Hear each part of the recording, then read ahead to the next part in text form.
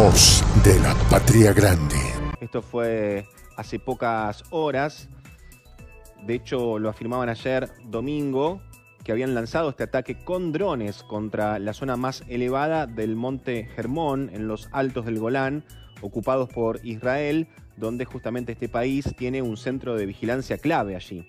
Asimismo, el movimiento Hezbollah aseguró que se trataba de su primer bombardeo a ese objetivo militar desde que comenzaron las hostilidades con Israel por la guerra en la franja de Gaza.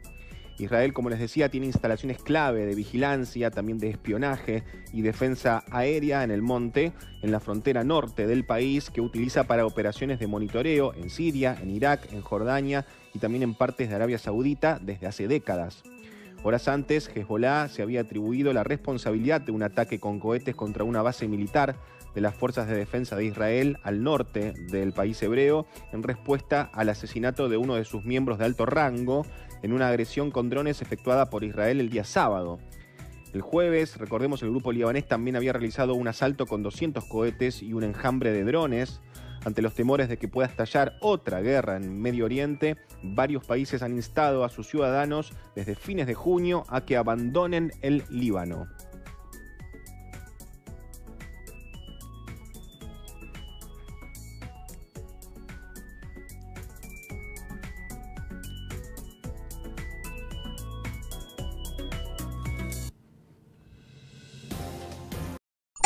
Voz de la Patria Grande.